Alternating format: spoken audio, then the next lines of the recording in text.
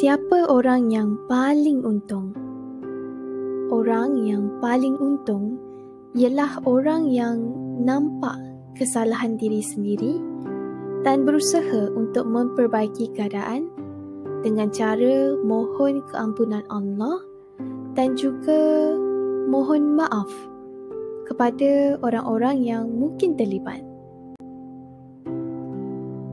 Kawan-kawan, semua orang akan buat kesalahan. Semua orang akan buat kesilapan. Dan memang, kesilapan ini memang menyakitkan kita. Walaupun kita buat dengan sengaja ataupun tidak sengaja, ianya tetap menyakitkan yang membuatkan kita mudah rasa menyesal. Tapi kita ni mudah terlupa. Kita memang akan mudah untuk buat kesilapan dan kesalahan setiap kali kita terlupa atau terikut hawa nafsu kita sendiri.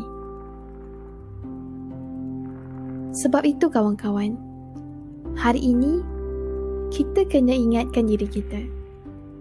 Orang yang baik bukanlah orang yang penuh dengan amalan-amalan baik yang sempurna yang tidak buat kesalahan tetapi kurang bertaubat sebab dia rasa dia tak banyak buat dosa.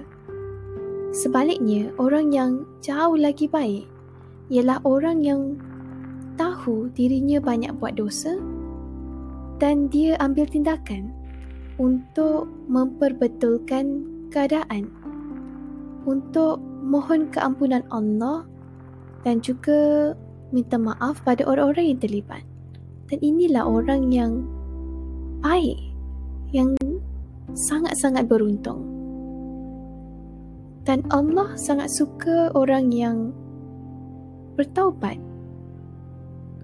Seperti firman Allah dalam surah Al-Furqan ayat ke-70, kecuali orang yang bertaubat, yang beriman, yang mengerjakan amal soleh, maka kejahatan mereka akan digantikan Allah dengan kebaikan. Jadi kawan-kawan, hari ini kita katakan pada diri kita, saya memilih untuk sentiasa mohon keampunan Allah dan sentiasa mohon maaf kepada orang-orang yang mungkin saya ada buat kesalahan dan kesilapan, tidak kira sengaja ataupun tidak sebab saya yakin ini adalah jalan yang jauh lagi baik untuk saya walaupun sebanyak mana kesalahan yang saya buat. Sebab saya yakin Allah Maha Pengampun dan Allah Maha Penyayang. Dan insya Allah kawan-kawan bila kita ingatkan diri kita untuk sentiasa bertaubat dan buat pilihan ini hati kita, jiwa kita akan jadi lagi tenang. InsyaAllah.